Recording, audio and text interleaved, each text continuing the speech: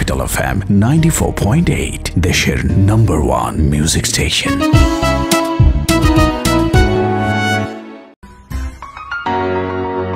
Women's Day Special Joyita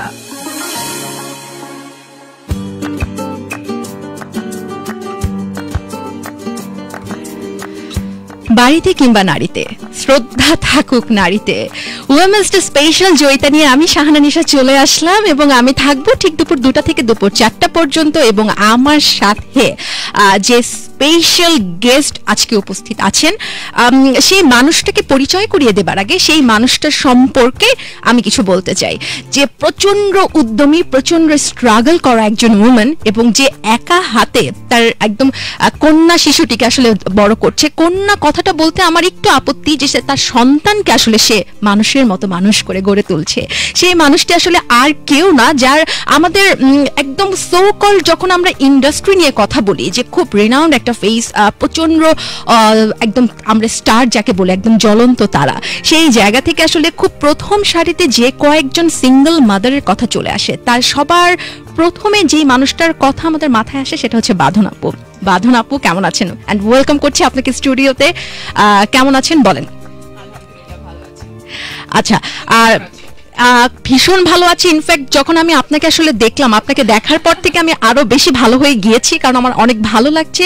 প্রথমবারের মতো আমি আপনার সাথে সম্ভবত শো করছি। প্রথমবারের মতো আমাদের মুখোমুখি দেখা এবং যেই মানুষটা আসলে একা হাতে তার সন্তানকে এত সুন্দর করে বড় করছে ইনফ্যাক্ট স্টাইল আইকন করে তুলছে আমাদের মায়েদের কাছে, যে আমরা অফেয়ারই কথা বলছিলাম, যে আপনি এবং আপনার মেয়ে একসাথে যখন নানান ধরনের শাড়ি পরেন ড্রেস পরেন মানে উইচ ওয়াজ অ্যামেজিং তো সেই মানুষটাকে খুব কাছ থেকে দেখতে পারার যে একটা আনন্দ হুম সেই আনন্দটা আসলে আমার মনে হয় যে আমার চোখে মুখে ফুটে উঠছে। আমার কারণ আপনি যেহেতু আমাকে প্রথমবার দেখছেন বাট আমার লিসনাররা তো আমাকে প্রতি সপ্তাহেই দেখে তো ওরা আসলে বুঝতে পারছে যে আনন্দটা আসলে কীরকম। ভালোবাসা ভালো লাগা এটা আসলে অনুভব করার বিষয়। এগুলো আসলে চাপিয়ে রাখা যায় না বের হয়ে আসে। এটা হচ্ছে অনুভব করা যায়। মানে আমি আমি আসলে কাউকে যদি ভালোবাসি হুম হুম। আমার অনেক কথা দিয়ে বোঝাতে হবে না। বেসিক্যালি আমার আমার এক্সপ্রেশন আমার বডি ল্যাঙ্গুয়েজ কিন্তু অনেক কিছু বলে দিবে ওকে মেয়েটা কেমন আছে? আলহামদুলিল্লাহ ভালো মেয়ের সম্পর্কে কিছু শুনতে চাই। সবার আগে আমি একদম আমি মানে মেয়ে তো আসলে শুধু বাঁধনের মেয়ে না মেয়েটা আসলে এখন শুধু পুরো আমাদের মেয়ে হয়ে গিয়েছে। হুম? তো আমাদের মেয়েটা কেমন আছে? আছে। আমি আমি যে স্কুল থেকে মানে এখন তো দুটো চার বাজে। আমার বাসা মিরপুরে।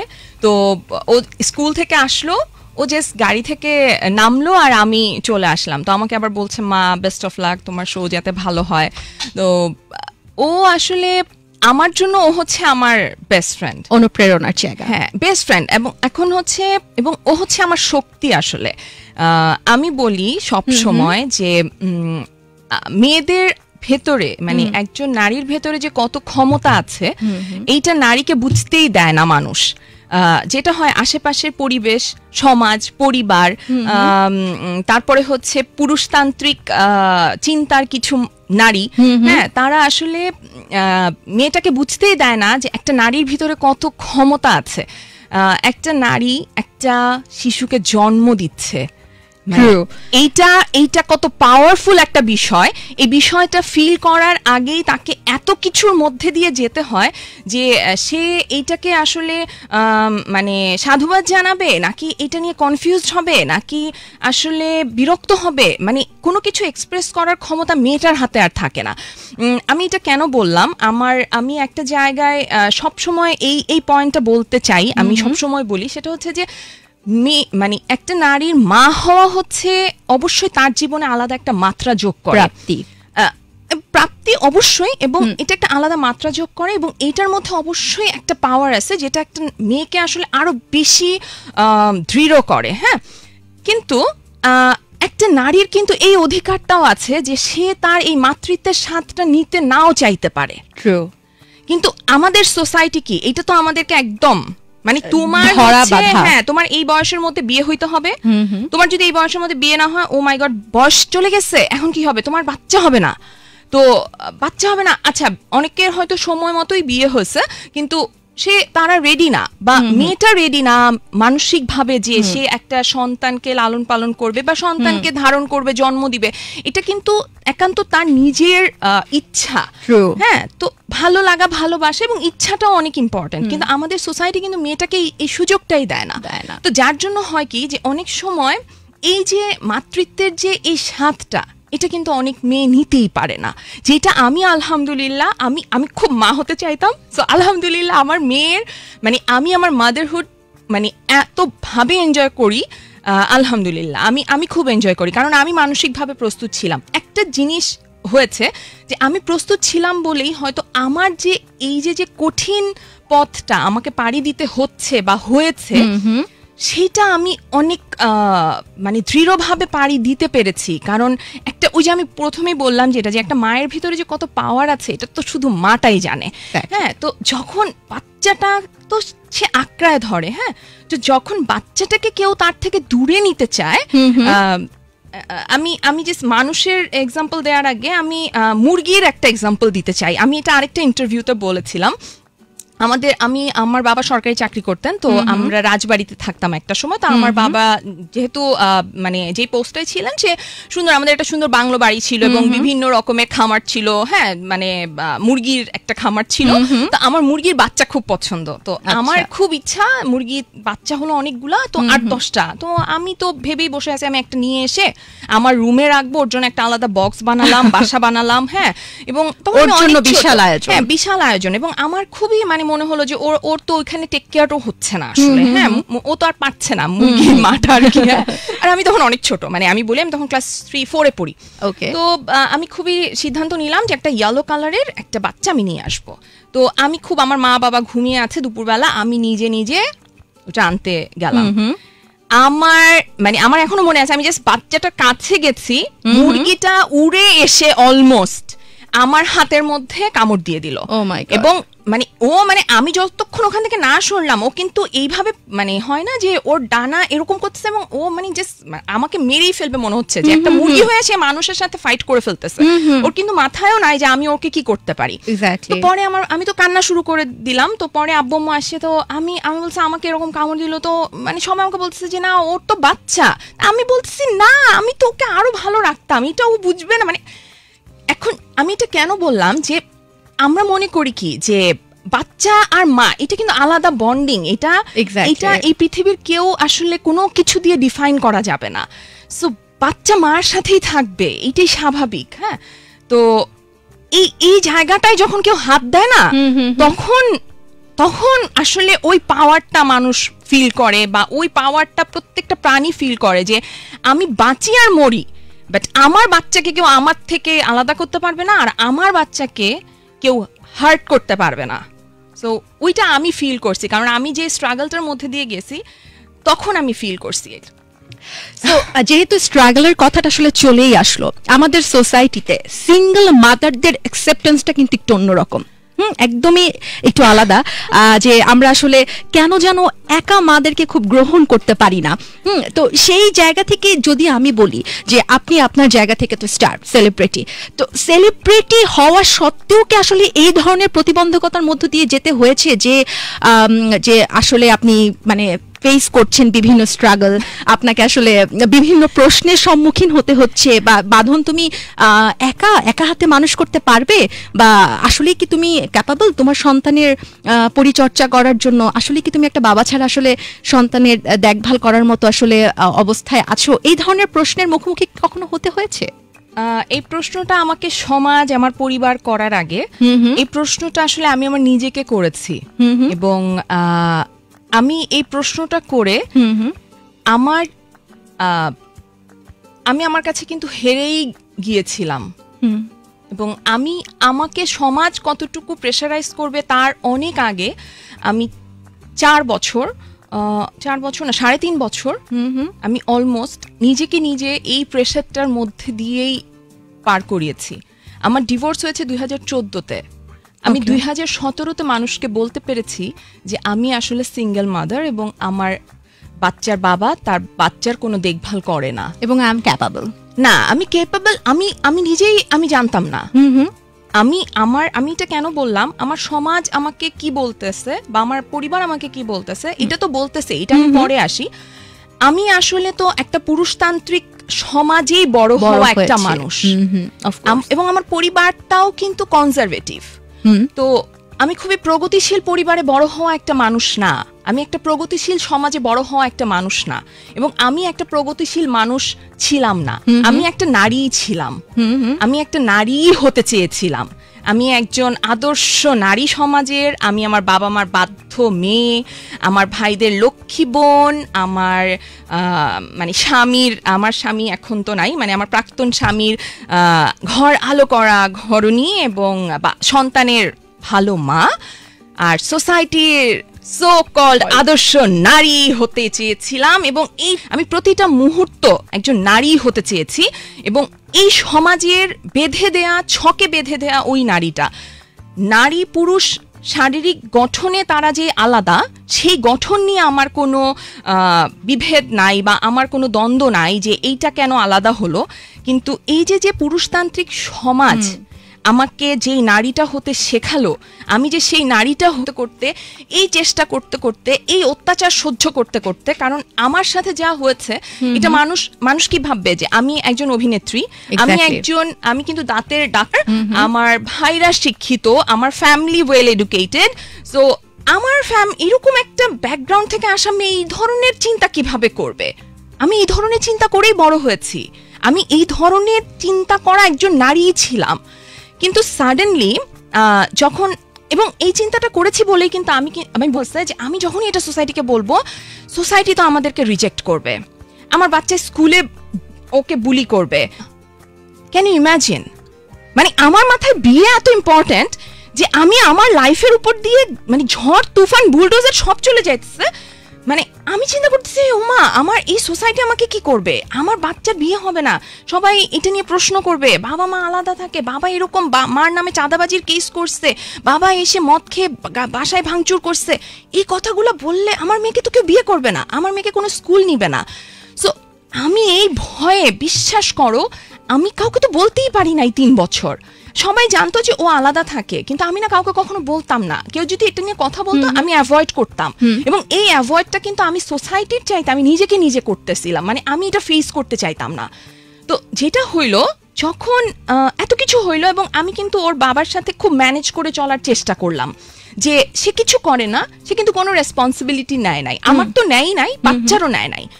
কিন্তু আমার কাছে হইতেছে বাবা বাবারে বাবা।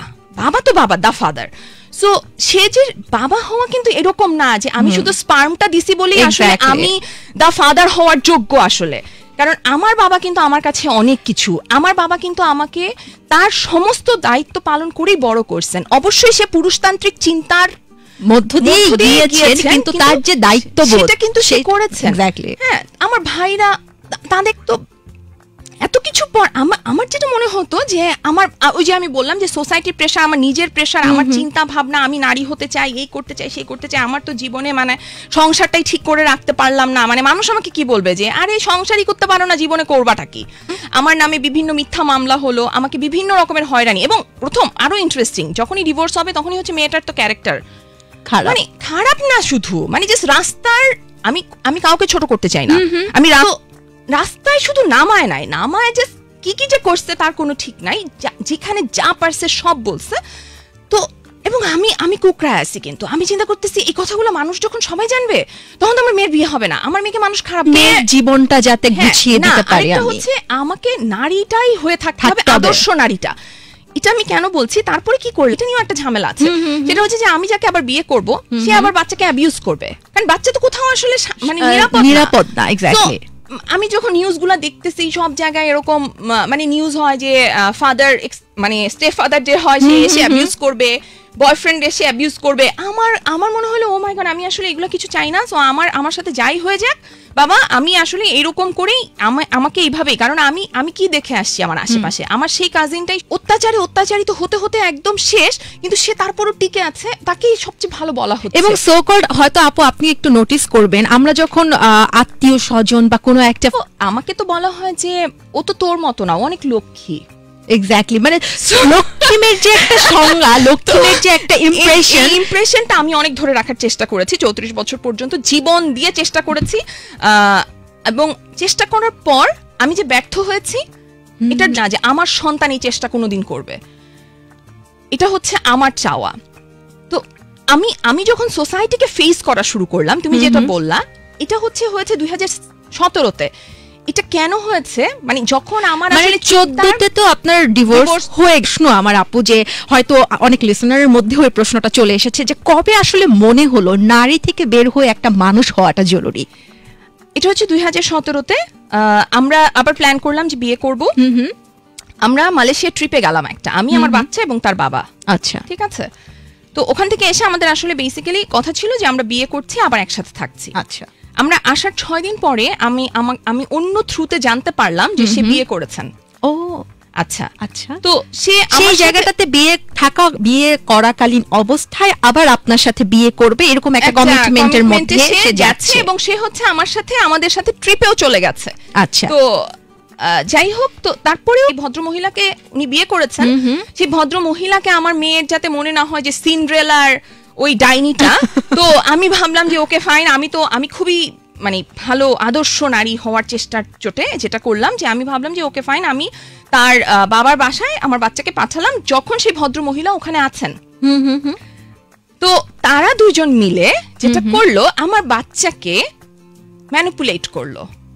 লিটারেলি আমার বাচ্চা হচ্ছে আমার আমাকে যারা শুনছেন তারা সবাই কতটুকু জানেন আমি জানি না। আমার বাচ্চা যে স্কুলে পড়ে আমার বাচ্চার যে আমার আমার আত্মীয় স্বজন আমার ফ্রেন্ড সবাই জানে আমার বাচ্চা হচ্ছে ভীষণ ওয়েল বিহেভড ওয়েল ম্যানার্ড এবং অনেক ঠিকঠাক ভাবে বড় হওয়া একটা বাচ্চা। তার সে কখনো ফোন ধরতে অ্যালাউড না আমার। তার কোনো আলাদা ট্যাব ছিল না। সে আমার বাসায় ইউটিউব নাই টিভিতে তার টিভি দেখার সময় নির্ধারিত। তার স্কুল আছে পড়া routine একটা এর মধ্যে সে থাকে। সে ঘুরতে যাচ্ছে সবকিছু করছে। কিন্তু অবাধ যে স্বাধীনতাটা যেটা যেটা স্পয়েল করা বলে নট অবাধ স্বাধীনতা এটা হচ্ছে স্পয়েল করা। সেটা আমার এখানে তো হচ্ছে না। ওরা যেটা করলেন সেটা হচ্ছে যে ওনারা ট্যাব দিয়ে দিলেন ইউটিউবের টিভিতে অন করে দিলেন সারাদিন কার্টুন দেখছে চিপস খাচ্ছে যা খুশি তাই করছে এবং বলা হলো যে উনি ওই ভদ্রমহিলা কানাডা থাকেন। বলা হলো যে যেহেতু বাংলাদেশ খুবই পচা। এটা ওনারা বলেছেন এটা কোট করে বলছি সে কি বাংলাদেশ- অনেক রেসপন্সিবল একটা সংস্থায় সে ছিলেনও। হ্যাঁ, আমরা সেটা জানি। তারপরে সেই জায়গা থেকে এবং সে তার সন্তানকে শিখিয়েছে যে বাংলাদেশের চাইতে বেটার অপরচুনিটি তোমার কানাডায় আছে। তো এটা সে তার বাচ্চাকে তো বুঝিয়েছেনই। সে আমাকে ফোন করে বললেন যে আমি একটা কনসেন্ট পেপার পাঠাচ্ছি লয়ার দিয়ে এটা তুমি সাইন করে দিবা। কিসের নতুন স্ত্রী মিলে সিদ্ধান্ত নিয়েছেন যে তারা তাকে কানাডা নিয়ে যাবে তার উজ্জ্বল ভবিষ্যতের জন্য। এবং আমি হচ্ছি নোওয়্যার মানে আমি ওখানে হচ্ছি যে আমি তো আমার ইউটেরাস আমার বাচ্চাটা ছিল তারপরে পয়দা করেছি তারপরে ছয় বছর ওকে বুঝাচ্ছেন যে ঠিক আছে এখন তো বাচ্চার ফিউচারের প্রশ্ন আসছে। এখন হঠাৎ করে ফিউচারের প্রশ্ন আসছে এবং উনি ওনারা দুইজন সিদ্ধান্ত নিয়েছেন। ওনারা দুইজন আমি আবার কোট করছি সিদ্ধান্ত নিয়েছেন যে নিয়ে চলে যাবেন। মাথার উপর যারা আমার আমাকে যারা চিনে তখন যারা জানতো আমি তো রেগুলার শুটিং করতাম আমি বাইশ থেকে পঁচিশ দিন শুটিং করতাম। আমার মেয়েকে সাথে নিয়ে যেয়ে যেয়ে কিন্তু প্রায় পায়ের নিচে কোনো মাটি নাই। আমার মনে হয়েছে আমি আমি জাস্ট একটা মানে আমি একটা শূন্যের মধ্যে ভাসছি। আমি ওই সময়টা আমি ডিসক্রাইব করতে পারব না যে আমি কিসের মধ্যে দিয়ে গেছি। এই ধাক্কাটার পরে শুরু হলো আমার ফ্যামিলি থেকে বলা হ্যাঁ ও তো বাবা। আর আমার আম, পরিচিত জন সবাই বলেছে হ্যাঁ ও তো বাবা। ওই তো ডিসাইড করবে দ্য ফাদার আমি সে রিয়েলি তো এত ল এত এত ধর্মে এত কিছু যে মাই সব মাই সব মা কোথায় তাহলে? মা কোথাও নাই আমি কোথাও পাই নাই তখন। আমি ওই সাত দিন পাগলের মতো রাস্তায় রাস্তায় ঘুরছি যে আমি কি করব আমি বুঝতেছিলাম না। ইসের মধ্যে দিয়ে গেছি। তো যখন এই দুইটা জিনিস একসাথে ঘটছে তখন যেটা হলো আমি আমি মা ব্যাপারগুলো খুব প্রি প্ল্যান করা ছিল আসলে? এটা সে ঘটনা আমি আমার বাচ্চাকে স্কুল থেকে পিক করতে পারি নাই। কারণ সে বলেছে যে তার বাচ্চা তো তার রেসপন্সিবিলিটি তার কাছে স্কুলের কার্ড সো সো সে নো আমি যখন যার কাছে যাচ্ছি বলছে আপনি দিলেন কেন? আরে ভাই মানে আমি তো ভাবছি আমার বাচ্চার বাবা। সে তো এত ইরেসপন্সিবল অ্যাক্ট করবে বা সে যে এই ধরনের প্ল্যান করেছে। এইটা হচ্ছে আমার জীবনের সেই ধাক্কা। আমি যখন একদম শেষ হয়ে গেছি আমি যখন বুঝেছি যে আমার লাইফে আর আসলে কিচ্ছু মধ্যে আমি চ্যালেঞ্জ করতে চাই। আমি আমি আমি এখন দেখতে চাই। তারপর আমি বলা শুরু করলাম। আমি মুভ করা শুরু করলাম। আর আপনি এটা কি করতেছেন? কারণ এতদিন তো আমি কিছু বলি নাই। সো ও যা বলছে মানুষ শুধু ততটুকুই শুনছে। ও বলছে ওর চরিত্র খারাপ ও তো নায়িকা ও দশ জনের সাথে ওনারা বাংলাদেশের এমন এমন জায়গায় আছেন। সো ওনাদেরকে ও মিথ্যাটা বলেছে এবং ওনারা বিশ্বাসও করেছেন হয়তো সেই সময়। আমি এখন এটাও আমি কোর্ট করছি হয়তো সেই সময়। কিন্তু আমি ওনাদের কাছে কৃতজ্ঞ। আমি ওই প্রত্যেকটা মানুষকে সে মিথ্যুক। সে দিনের পর দিন তাদেরকে জাস্ট একটা ব্লাফ দিয়েছে। কারণ আমি আমি এতদিন ধরে মিডিয়ায় কাজ করছি। আমার যদি এতই ছেলেদের সাথে মানে আমার তখন মনে হয়েছে যে আমি দেখতে চাই এটা শেষ দেখতে চাই। তো তারপর আমি গেলাম এবং তারপরে তো আমার আরেকটা হরিবল লাইফ শুরু হলো। বলার পরে তো লাইফ এত ইজি না। আর সমাজের সবাই এসে আমাকে চাপায় ধরছে যে মানে এটা তুমি কি বলতেছো? আমাকে আমার লয়ার বলে এটা কি ধরনের কেস করলেন? ডিরেক্ট প্রপোজাল দিয়েছে। বাজে প্রপোজাল মানে চেঞ্জ করার পিছনে কারণটা কি ছিল? তারা এই কেসটা নিয়ে রিলেট করতে পারবেন। যে তারা কি কি ফেস করেন লয়ারদের কাছে গিয়ে? প্রথম কথা হচ্ছে যে এইটা কি? মানে আপনি গার্ডিয়ানশিপ কীভাবে? বাবা এটা সব করে। তার মানে বাবা তো কিছু করতেছে না। বাবা কোথাও নাই শুধু বাবার নামটা আছে। সে শুধু স্পার্মটা দিছে। এটা ছাড়া তো তার এটা আমার করা। মানে আমি বার্থ সার্টিফিকেট আমি তৈরি করেছি। ওকে তো আমি বলব যে নামটা আমি আমি চাইলে সিদ্দিকে বানের চিন্তার মধ্যে দিয়ে যায়। সে কীভাবে এই ধরনের চিন্তা করে? কারণ তাকেও শেখানো হচ্ছে যে তুমি দা ফাদার তো তুমি যা খুশি তাই করবা। কিন্তু এই যে একটা এটা একটা চরিত্রহীন নারী। আমার কাছে থাকলে তো বাচ্চার ফিউচার নষ্ট হয়ে যাবে। এটা প্রমাণ করে ফেলবেন। এবং চরিত্রহীন নারী- সুন্দরী মিডিয়া কাজ করি বয়স কম সো আমি তো এবং মার চরিত্রহীন হইলে বাচ্চা তার কাছে থাকবে না এবং বাবা হতো যাই খুশি করুক সেটা নিয়ে কিন্তু কখনো কোনো কোয়েশ্চেন নাই। বা বাবা এসে মাকে মারছেন বাবার মানে মেন্টালি সে ডিসঅর্ডার কিছু তাতে কিছু আসে আসে যায় না। কিন্তু মার সবকিছুতে অনেক কিছু আসে যায়। তো যাই হোক আমি আমি যেটা বলছিলাম যে তখন আমার আমার রিয়েলাইজেশনটা হলো যে আমি এটার একটা এসপার ওসপার করে ছাড়বো। আমি দেখতে চাই আমি এটা শেষ দেখতে চাই। কি হবে? ম্যাক্সিমাম হবে যে ওর আমার প্রত্যেকটা জিনিসের জন্য তার এনওসি লাগবে। এক্স্যাক্টলি এভরি মানে আমার প্রত্যেক আমার বাচ্চার পাসপোর্ট ওখানে। বাচ্চাকে নিয়ে আমি কোথাও যেতে পারব না। পাসপোর্ট যদি আমি বানাইও তার তার এনওসি লাগবে যে মানে সে সে কিছুই না কিন্তু। মানে এমন হতো যে ওকে ফাইন আমরা একটা মিউচুয়াল আন্ডারস্ট্যান্ডিং এর মধ্যে দিয়ে জিনিসটা করে কিন্তু সে তার জায়গা নিজে নষ্ট করেছেন এবং নষ্টটা এমন ভাবে না মানে আমার তখন মনে হয়েছে কি মানে প্রত্যেকটা মানুষ বলতেছে ও তো বাবা। তো ও তো বাবা আমি জানিও বাবা আমি তো আমার পক্ষে দিয়েছে এবং আমি আহ, ওই জাজ সাহেবের কাছে কৃতজ্ঞ। যে আমার রায় দিয়েছেন উনি উনি একজন ভদ্রমহিলা উনি একজন নারী যে যে এই রায়টা দিয়েছেন। আমি তার কাছে অনেক কৃতজ্ঞ কারণ তো আমি আমি একটা সময় আর পারছিলাম না। মানে আমি আর নিতে পারছিলাম না। কতদিন ধরে চলেছে এটা নয় মাস নয় মাসের মতো। নয় মাস। এটা কোনো সময়ই না। মানুষের আমি আমি জাস্ট আমি তখন বলেছি আমি একটু কথা বলতে চাই। তো তখন আমি ওই মানে এটা প্রসিডিউর আছে ওই প্রসিডিউরের মধ্যে দিয়ে আমি যে কথা বললাম এবং আমার লয়ার সমানে আমাকে বকা শুরু করলেন যে আপনি আবার কি বলবেন? এত আবার কি কাউকে বুঝাতে পারছি না। না। আমার আমার শুধু দরকার যে আমি প্রত্যেকটা ক্ষেত্রে যে এই লোকটার পারমিশন নিচ্ছি। কেন? আমি সব করছি। এক্স্যাক্ট নেয় না। সে কীভাবে এই- এইটাই যদি সোসাইটির রুলস হয় আপনি সে তো বাচ্চা সাথে দেখাই করছে না। তাহলে আপনি এটার একটা ব্যবস্থা দায়িত্ব পালন করবে এটা হয়তো কোর্ট নির্ধারণ করে দিতে পারে। কিন্তু একটা বাচ্চাকে তার বাবা মা কতটুকু ভালোবাসবে? সেইটা নির্ধারণ তো কোর্ট নির্ধারণ করতে পারবে না। তো আমি যখন কথাগুলো করব আমি জানি না মানে আমার তার তিনটা ডেটের পর আমার রায় হয়েছে। তো আমি বলেছি যে স্যার আমি শুধু একটা জিনিসই চাই। আমার বাপ পরে ওর যদি মনে হয় ওর বাবার কাছে থাকবে থাকবে। ওর যদি মনে হয় ও চাঁদে গিয়ে থাকবে ওর যেখানে প্রত্যেকটা জিনিসের জন্য সে আমাকে হ্যারাস করছেন সে পাসপোর্টটা আটকে রেখেছেন সে কোনো কিছুতে কোনো কোঅপারেট করেন না। তো আমি কীভাবে আসলে আমার লাইফটা আমাকে তো সামনে যেতে হবে এবং তাকে প্রমাণ দিতে বলেন যে সে কোনো কিছু করছে কিনা?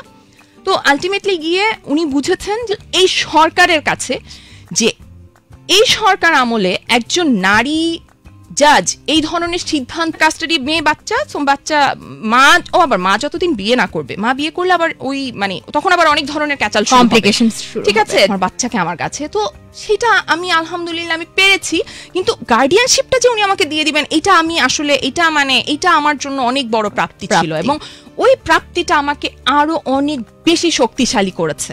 তখন এই মুহূর্তে কিন্তু আমার আমার আশেপাশের অনেক ভয় ঠাস ঠাস করে অটোমেটিক পড়ে গেছে।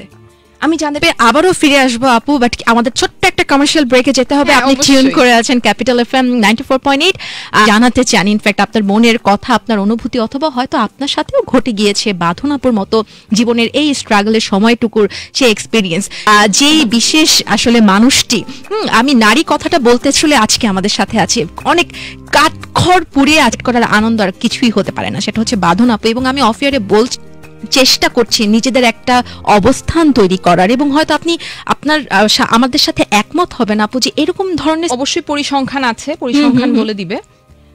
আমি একটা ইন্ডিভিজুয়াল মা কিছু বলবে মানে হয় না যে মানে হ্যাঁ। শুনব।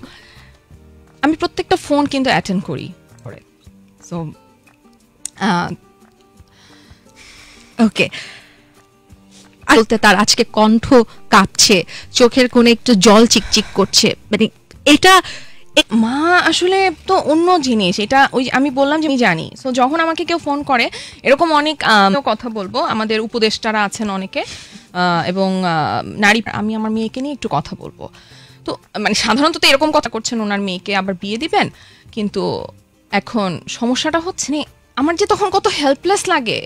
আমার আমার যে কেমন আমি দেখে ফেলে আমি ওইটার ভেতরে চলে যাই। কারণ আমি জানি এই মেয়েটাকে এখন আর কি কি আমি আমি কিন্তু অনেক আমি অনেক এমনিতেই আমি অনেক ইমোশনাল আমি অনেক সেন্সিটিভ মানে আমি আমি সবসময় বলি যে আমার যদি কখনো ক্ষমতা হয় বা আমার যদি করার কোনো ক্ষমতা থাক সাথে নাই থাকতে পারে। আচ্ছা, ঠিক আছে? আমার আমি যাকে ডিভোর্স হয়ে যেতেই পারে আমরা আলাদা হতেই পারি কিন্তু হিসেবে ইউজ করা হয় ইমোশনালি হার্ট করার জন্য। মানে কিন্তু বাবাটা সবচেয়ে হার্ট হওয়ার কথা। যদি সে বাবা হয়ে থাকে বা একটা মানুষ হয়ে থাকে। ছোট্ট অনুরোধ মানে অনুরোধ তো আমি ঠিক আসলে জানতে সায়রা সায়রা। সায়রা বাবার কাছে গিয়েছে বেড়াতে। প্রথম শোনার পর যে অনুভূতিটা যে ধাক্কাটা এই কারণে তখন already you are ready prepared এই এই জায়গায় যাচ্ছেন কনসিয়াস মাইন্ডে কিন্তু হঠাৎ করে যে এখন ফোন এসে বলল যে বাদ গল্পটা ওই ওই অনুভূতিটা আমি একটু শুনতে চাই। আমার বাচ্চা আমার বাচ্চার বাবার সাথে সম্পর্কটার জায়গাটা এরকমই ছিল। না ওই কথাটায় যে বা আমি তার ওয়াইফও না। সাইন করতে হবে। আমার যে বাবাই সব। বাবা তার আচ্ছা। মধ্যে আমার বাচ্চার পাসপোর্ট ওই লোকের কাছে। আমার পেপার আর আমাদের এখানে সাইন নকল করে আমার সাইন খুব নর্মাল মিথ্যা চাঁদাবাজির মামলা করেছিল যখন আমি তার ওয়াইফ ছিলাম। যে বিশ লক্ষ টাকা চেয়েছি। বাচ্চাকে দেখতে হিসেবে আমি কাঠগড়ায় দাঁড়িয়েছি দিনের পর দিন। আমি তখন এটা একটা খুব ইন্টারেস্টিং পয়েন্ট আমি যখন এই কেসটা চলছে হার্টবিট এখন কথা আমি জানি না। প্রথম কোর্ট যাওয়া আমি এবং আমি হচ্ছে হিজাব পরে গেলাম। যাতে মানুষ আমাকে চিনতে না পারে। আমি কীভাবে আমার কথা বাদই দিলাম? একটা বয়স্ক মানুষ আমার জন্য পড়ে যাইতাম এবং আমি হচ্ছে যে জাস্ট কোনো রকমে হাজির আমাকে হাজিরা দিতে হবে। আমি তো আসামি আমি প্রথম আসা ভয়ে। যদি আমার ভয়েসে চিনে ফেলে এবং এটা যেতে যোগ্য। আমার আমাকে অনেকে বলে যে মানে তোমার এত কৃতজ্ঞতা আমি সেটা কোনোভাবে লিখবেন না।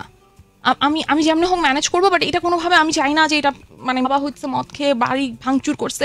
মানে এগুলো আমি পড়ি না ওই কেসটাকে খারিজ করা হলো। Okay. আমি তার পায়ে ধরলাম অলমোস্ট এটা থেকে বের হইতে চাই। যখন আমি নারী ছিলাম আর কি আদর্শ নারীটা হইতে চাইছি এত নির্লজ্জ আমি।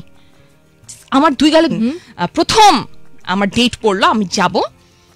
আমিও আমি ফেস করব এবং আমি ফেস করছি। আমি এরপর আর কোনোদিন হিজাব এটার একটা পজ নিয়েছিলাম কারণ আহ, বাঁধন আপুকে দেখছি বাঁধন আপু একটু পরপর টিস্যু নিচ্ছে মানুষ মানুষ মানুষের পরেও ছোট্ট একটা সব খুব ফেস করেছে খুব ইনফ্যাক্ট এই এক্সপিরিয়েন্সের মধ্যে দিয়ে যখন তার সেন্স আসে আমি আমার বাচ্চাটাকে দেখব।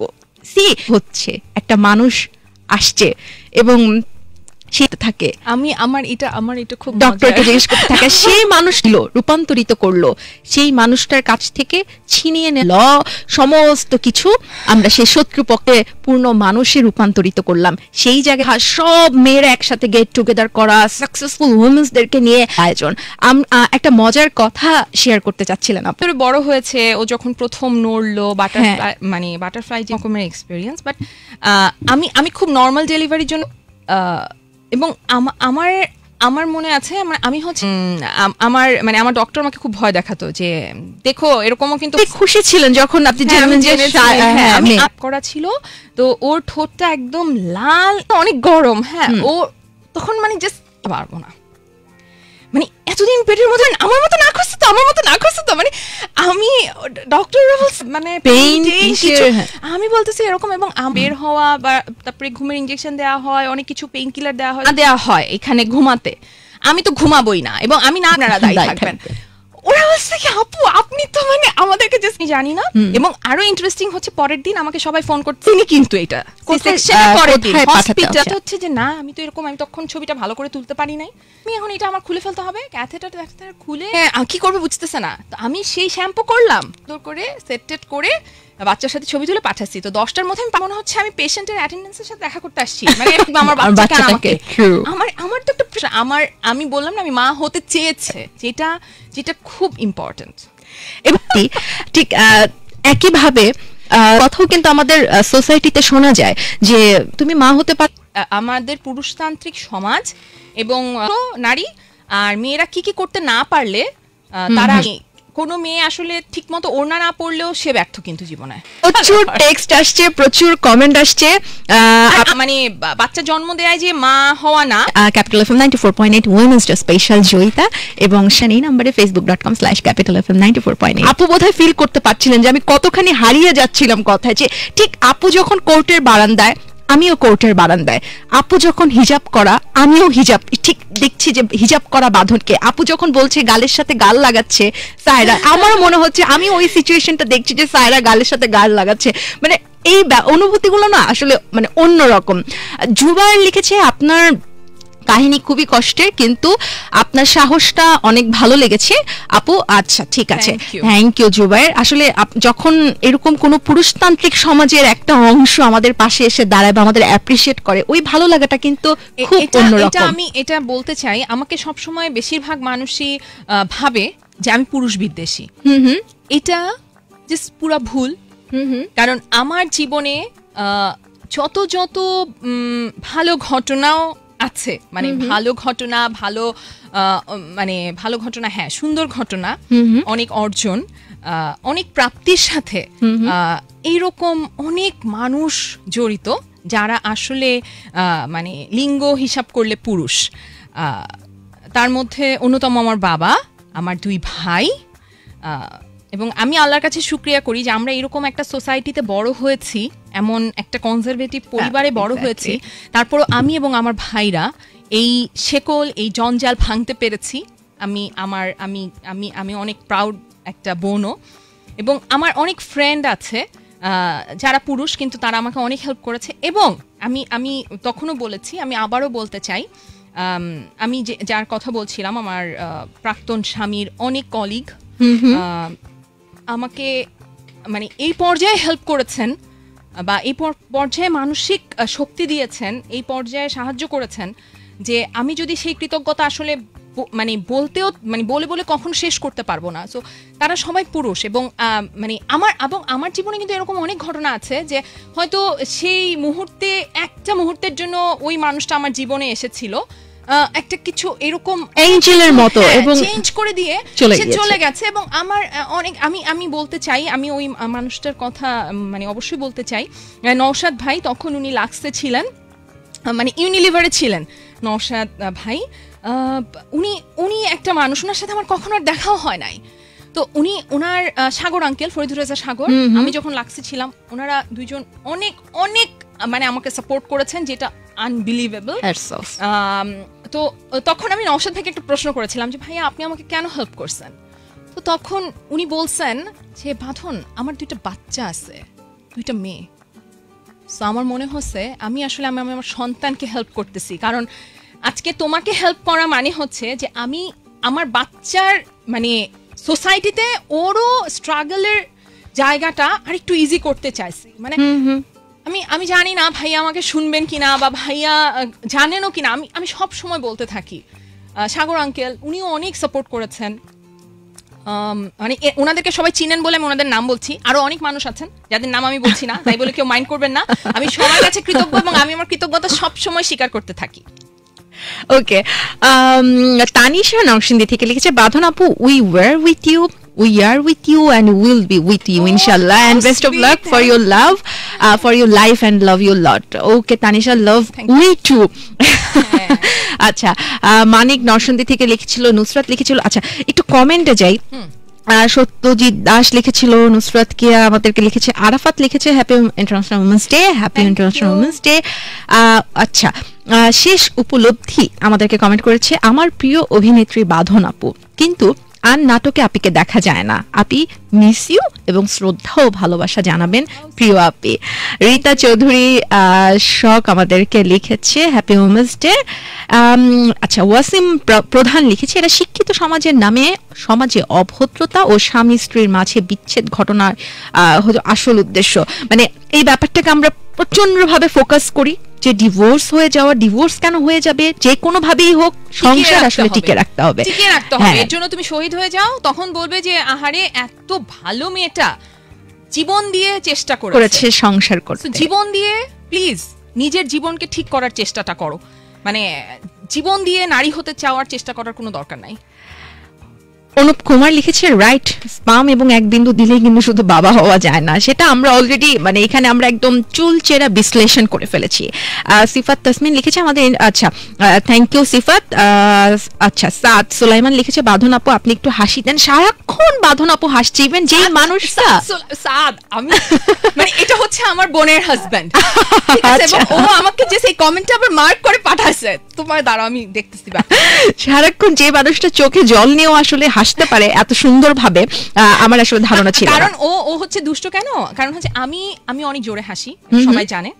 আমার হাসিটা খুবই মানে ওর ও আমি এটা খুব বাজে হচ্ছে দাঁড়াও আমি আমরা তিন বোন এবং আমি তোমার খবর নিতেছি। মানে ওর ওয়াইফ এবং আমি অনেক জোরে হাসি আমরা আসলে আমরা কাজিনরা সবাই অনেক জোরে হাসি হাসতেই পারি এটা আমাদের অধিকার আমার ইচ্ছা আমি জোরে হাসবো ঠিক আছে? তো ও বলছে যে মানে খুবই বাজে ওয়ার্ড ইউজ করছে এটা আমি ইউজ করতে পারতেছি না বাট সে বলছে যে আপনি এরকম করে হাসবেন কেন? মানে এটা সুন্দর মানুষ সুন্দর করে হাসবেন আর একদম হা হা করে হাসতে হবে এরকম। আমরা- সবাই আমরা কাজিনরা যে অনেক জোরে জোরে হাসি অনেক জোরে। ওকে এটা এটা আমার ভক্ত যারা আছেন তারাও জানে। এবং এই হাসিটাই বোধহয় ভালোবাসা পাওয়ার আরেকটা মূল আমি বলব যে মূল মাধ্যম। ওকে সবচেয়ে বড় চ্যালেঞ্জ কি ছিল সিঙ্গেল মাদার হওয়ার? এতক্ষণ তো অনেক গল্প শুনলাম, আমরা অনেক এক্সপিরিয়েন্সের মধ্যে দিয়ে গেলাম। বাট যদি বলি একটা specific challenge being a single mother আমাদের সোসাইটির পার্সপেক্টিভে সেটা কি? নিজেকে নিজের কাছে স্বীকার করা যে আমি আসলে এই এই জিনিসটা নিজের সাথে ফেস করা আমার কাছে মনে হয়েছে সবচেয়ে কঠিন। কারণ আমি তো এই সোসাইটির বাইরের কেউ না, আমি বলেছি। তো আমি আমি এখন চেষ্টা করছি আমি বলি আমি মানুষ হতে চাই। আমি মানুষ হওয়ার মানে হতে চাওয়ার এই প্রক্রিয়ার মধ্যে আছি ঢুকেছি মাত্র। আমার মাত্র দুই বছর হলো এই প্রক্রিয়ার মধ্যে আমি আছি এবং আমার সন্তানেরও দু বছর হয়েছে। আমি হয়তো ওর ছয় বছর পর্যন্ত এটা নিয়ে মাথায় ঘামাইনি। কিন্তু এই ঘটনা মানে যেই দিন থেকে আমার মনে হয়েছে যে আমি মানুষ হতে চাই সেই দিন থেকে আমি আসলে সিদ্ধান্ত নিয়েছি যে আমি আমার সন্তানকে মানুষ হিসেবেই গড়ে তুলতে চাই এবং আম, আমি আমি কিছু জিনিস শেয়ার করতে চাই। এটা আমি একটু করতে চাই। অবশ্যই। আচ্ছা আমি একটা পয়েন্ট বলতে ভুলে গেলাম। সেটা হচ্ছে যে অনেকে যে মা সন্তান জন্ম দিতে পারেন না এটা নিয়ে যে সমাজ তাকে এত কিছু এক্স্যাক্টলি এবং আমরা ব্রেকের আগে যাওয়ার ঠিক হ্যাঁ, এটা এবং নিয়ে কথা হ্যাঁ এবং এবং মাটা বা একটা নারীকে যে এখানে আসলে কি পরিমাণে মানে হীনমন্যতায় ভোগায় এই সোসাইটি বা আশেপাশের মানুষ মা হ্যাঁ অবশ্যই সন্তান জন্ম দেয়া একটা একদমই ডিফারেন্ট একটা এক্সপিরিয়েন্স একটা মার জন্য এবং এটা অবশ্যই একটা নারীর জীবনে অন্যরকম মাত্রা যোগ করে। করে। কিন্তু এরকমও না কিন্তু যে সব সন্তান জন্ম দিলেই সেই সন্তান আহ, নের মা হওয়া যাবে বা মাতৃত্ব যে শুধু নিজের সন্তানের ভেতরেই আসলে আমরা মমতাটা দিতে পারব এরকম না। আমাদের আশেপাশে এরকম অনেক বাচ্চা আছে যাদের বাবা মা নাই যারা আসলে অত প্রিভিলেজ না। তারা অনেক কিছু থেকে বঞ্চিত যারা এই ধরনের সমস্যায় ভুগছেন বা এই ধরনের সমস্যায় আছেন, আমি আমি তাদের অনুরোধ করব যে তারা সেই বাচ্চাদেরকে চাইলেই কিন্তু অ্যাডাপ্ট করতে পারেন। ভালোবাসা মায়া মমতা এগুলা কিন্তু আসলে বিলিয়ে দিতে হবে। হ্যাঁ সো আপনি আপনার এই ভালোবাসাটা এই মমতাটা আপনি ওই বাচ্চাটাকে দেন। ওই বাচ্চাটা সে সেও একটা ঘর পেল সেও একটা সুন্দর লাইফ পেল। তো এটা নিয়ে আর কে কি বলল? কিছু আসে যায় না। কারণ আপনার লাইফ আপনার। আপনাকে কে কি বলছে? আপ- আপনি আপনি তো তার কথা খাবেন না। আপনি আপনার যোগ্যতা দিয়ে টাকা উপার্জন করে খাবেন। তো আপনি কারও কথায় কোনো মাথা ঘামানোর দরকার নেই বাট অবশ্যই আমাদের সোসাইটির পরিবর্তন আসতে হবে। মানে ব্যাপারটা যে একদম জেনেটিক্যালি হতে হবে যে আমার না, আহ, ও- গর্ভে ধারণ। হ্যাঁ, কিন্তু এটা থেকে আমরা চিন্তা করতে পারি না কিন্তু অনেক সময় এটা পারি না এবং ওইটার জন্য হয় কি মেয়েটাকে এত প্রেশারাইজ করা হয় যে মানে সব ব্যর্থতা মেয়েটার মানে হুম এক্স্যাক্টলি ওই যে মানে- সমাজের দৃষ্টিভঙ্গি আমরা তো হ্যাঁ। আমরা তো চেঞ্জ করতে পারছি না। এবং আমি সরি যেটা আমি শেয়ার করতে চাচ্ছিলাম সেটা হচ্ছে যে একটা মেয়েকে আসলে জন্মের আগে থেকেই কিন্তু মানে কত হেয় প্রতিপন্ন করা হয়, কত ছোট করা হয়। আমি আমি জাস্ট যে কথাগুলো বলব, আপনারা একটু মন দিয়ে শুনবেন এবং নিজের সাথে, নিজের পরিবারের সাথে, নিজের আশেপাশের মানুষের সাথে একটু মেলাবেন। আমরা যখন একটা বাচ্চা হয়, আমরা, আমাদের সোসাইটি শিখায় মাটাকে যে তোমার কিন্তু একটা ছেলে হতে হবে। ছেলে না হলে তোমার তো, এই ফ্যামিলিতে তোমার অবস্থানটা পাকাপোক্ত হবে না। সো মাটা প্রথমেই কি করে? ছেলে মেয়ের মধ্যে ওখানে কিন্তু বিভেদটা শুরু হয়। সে আশা করতে থাকে যে তার একটা ছেলে সন্তান হবে। এবং যখন মেয়েটা হয় মেয়েটা হলে মাটাও কিন্তু আপসেট হয়। এবং এটা কেউ স্বীকার করুক না করুক এরকম ঘটনা বাংলাদেশের ঘরে ঘরে হয়। তো যখন আপসেট হয় ওই বাচ্চাটা হয়তো কিছু বুঝে না কারণ সে তো অবুঝ। কিন্তু বাচ্চাটা যখন আস্তে আস্তে বড় হয় এবং সে যখন এই কথাটা শুনে তুমি একবার চিন্তা করো তো ওই বাচ্চাটা কেমন লাগে যখন সে শুনে বড় হয় যে তার বাবা মা চাইতো তাদের একটা ছেলে। ছেলে হোক। সেই বাচ্চাটার কেমন লাগে সে যখন শুনে যে এই বাসাটা তার না?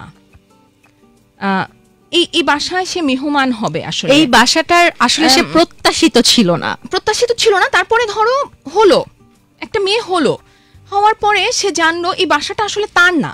কারণ বাবার বাড়ি তো বাবার বাড়ি আর বাবার বাড়িতে বিয়ে হয়ে গেলে মেয়েরা হচ্ছে মেহমান। সো মেহমান আসবে মেহমানকে আপ্যায়ন করবে খেয়ে দিয়ে চলে যাবে। চট থাপ্পড় কিল ঘুষি খেয়ে বাবার বাড়ি ফেরত আসার তো কোনো দরকার নাই।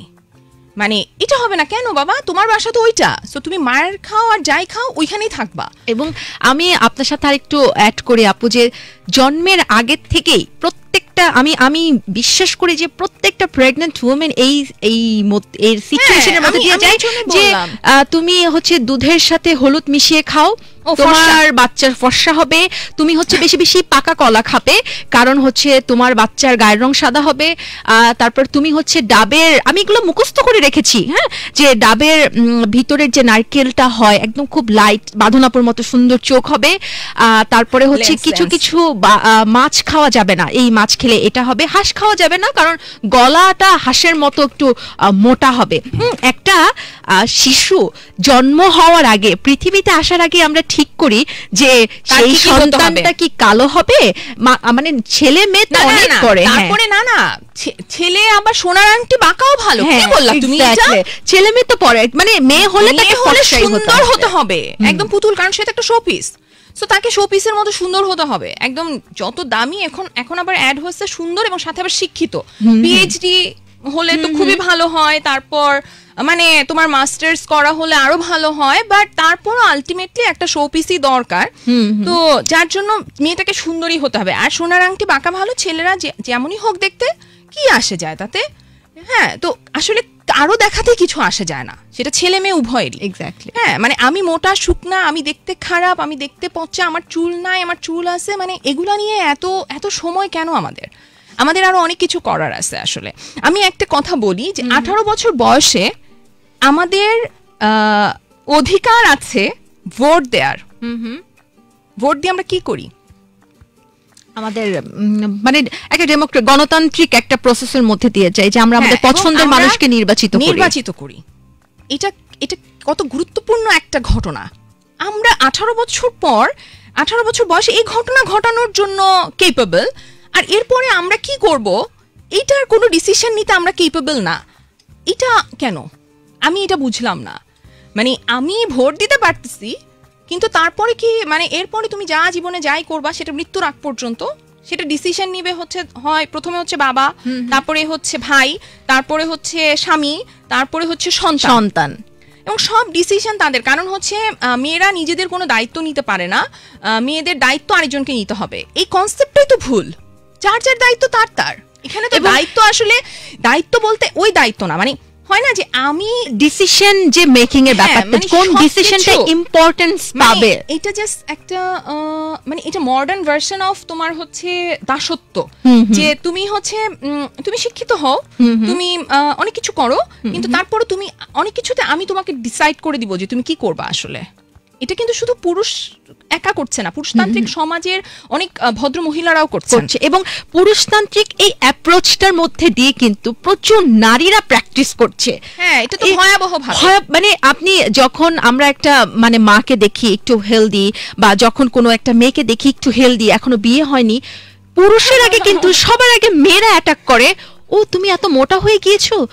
বিয়ে বিয়ের পরে তুমি কি হবা? তোমার তো বিয়ে হবে না। এই যে অ্যাপ্রোচটা প্রথমে কিন্তু একজন পুরুষ বলে না। প্রথমে হ্যাঁ, একজন নারী বলে। এটা তো ওই যে পুরুষতান্ত্রিক সমাজ তাকে শিখিয়েছে যে তুমি তোমার কাজই হচ্ছে তুমি আরেকটা নারীকে পা টেনে নিচে নামাবা। তোমার আর কোনো কাজ নাই। তোমার তো কোনো দায়িত্ব নাই। তোমার কি দায়িত্ব? তোমার দায়িত্ব হচ্ছে বিয়ে করবা বাচ্চা হবে আর হচ্ছে মানুষের পিছে লেগে থাকবা। আর তোমার তুমি যে একটা মানুষ তুমি তোমার যে নিজের একটা আইডেন্টিটি ক্রিয়েট করতে হবে তোমার যে নিজে স্বাবলম্বী হতে হবে, তোমার নিজের অধিকার নিজের আদায় করতে হবে, অন্যের অধিকার, অন্যের স্বাধীনতাকে সম্মান করতে হবে এবং এই সব কিছুর অধিকার যে পুরুষের সাথে সাথে নারীরও আছে, এই জিনিসটা তো সোসাইটি জাস্ট ভুলেই গেছে আমার কাছে মনে হয়। কারণ সেই নারীকেই বাহবা দেয়া হয় বেশিরভাগ সময় যে আসলে এগুলোর মধ্যে দিয়ে আছেন। আর এখন অবশ্য অনেকে অনেক চেঞ্জ হয়েছে।